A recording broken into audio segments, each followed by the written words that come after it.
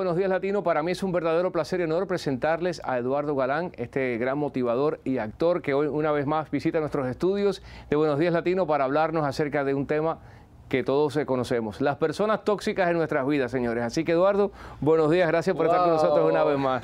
¿Qué tal? Gracias, gracias por la invitación, agradeciendo, mira TV, agradecido contigo Carlos por la, por la entrevista y muy contento de estar acá. Bueno, esta es tu casa y de verdad el tema que vas a tratar hoy me parece que es excelente porque todos en la vida conocemos personas tóxicas. Pero quiero que nos expliques un poquito a qué tú te refieres cuando, eh, o, de qué hablamos cuando hablamos de personas tóxicas. Bueno, cuando nos referimos a personas tóxicas estamos hablando de estas personas que te dicen que yo creo que todos tenemos a alguien cerca o en algún momento lo hemos conocido.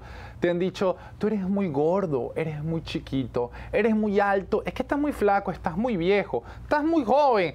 Eh, entonces, eh, parece mentira, pero todos estos comentarios, todas estas críticas por tu bien hacen que uno empiece a bajarse de ánimo, que uno baje su, como su estado emocional. A veces uno se despierta con, con ganas de comerse el mundo, uno dice, lo voy a lograr, me va a ir muy bien en el trabajo, te montas en el elevador, en el ascensor y una persona te dice, ¡Oh!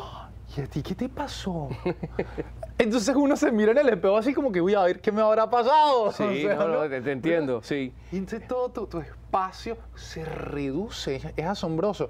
Estas personas hacen que, que uno no pueda ver con claridad y uno no se dirija correctamente hacia sus metas. A eso me refiero con la gente tóxica. Pero si por ejemplo es una persona o un familiar tuyo o alguien que pretende darte un buen consejo, no, tú no hagas eso porque no te va a ir mm. bien, tú no sabes hacer eso eh, por X razón, o, oye, me adelgaza, estás demasiado grueso, o ¿Qué hacemos en ese caso? Sí, tienes toda la razón. Muchas veces eh, son personas que son nuestros familiares, ¿no? Entonces yo no te voy a decir, deja de hablarle, ni nada por el estilo. Yo me baso mucho en este libro que se llama El Camino a la Felicidad. Este libro fue escrito por el señor L. Ronald Hoover en el año 81 y, y tiene un propósito que es restaurar el sentido común y los valores en la sociedad. Entonces, con este libro, en, el paso 21, te dice que el, dato clave, lo que uno tiene que hacer es florecer y prosperar en la vida. ¿De qué se trata eso de florecer y prosperar? Se trata de que no, no importa cuál sea la, barrera. Vamos a mostrar el libro a la ah, cámara para que te... Aquí lo tenemos. ahí. Aquí está el libro El Camino a la Felicidad, una guía de sentido común para vivir mejor. Yo se los recomiendo a todas las personas. Nosotros estamos obsequiando el libro, por cierto, todas las personas que lo deseen. Tenemos un edificio donde dictamos conferencias que son completamente gratuitas. La gente va, toma café, galletas y, y comprende sobre los valores y el sentido común. Estamos en la avenida Fort Harrison, número 33, si no me equivoco. En, sí, en la avenida Fort Harrison. Clearwater. En Clearwater, no, número 33. Y es muy bonito porque es un edificio que se llama así, ¿no? The Way to Happiness.